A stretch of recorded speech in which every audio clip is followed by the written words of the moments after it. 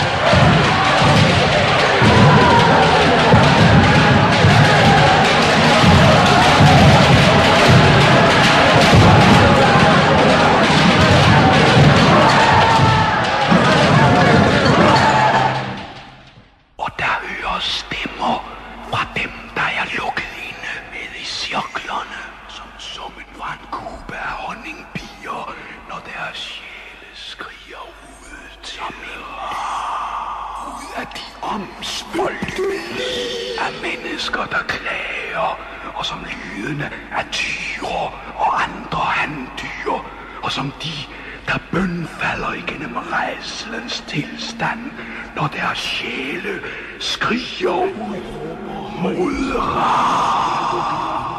I cirklerne, der hører stemmer fra den, der er lukket i. En lyd, som når han kan skriger, som lyden af livets forfjerne måne, og som lyden af den, der drager til kamppladsen, og som lyden af skrigen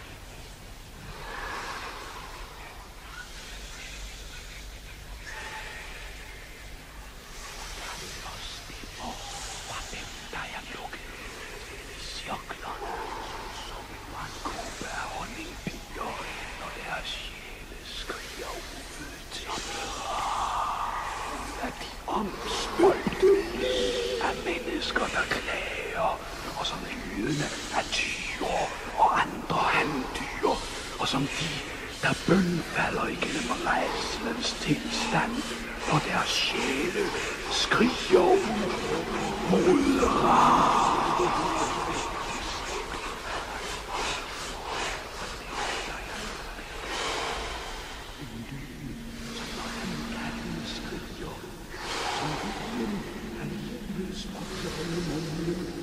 som lyden og den, der har til kamp. Og som lyden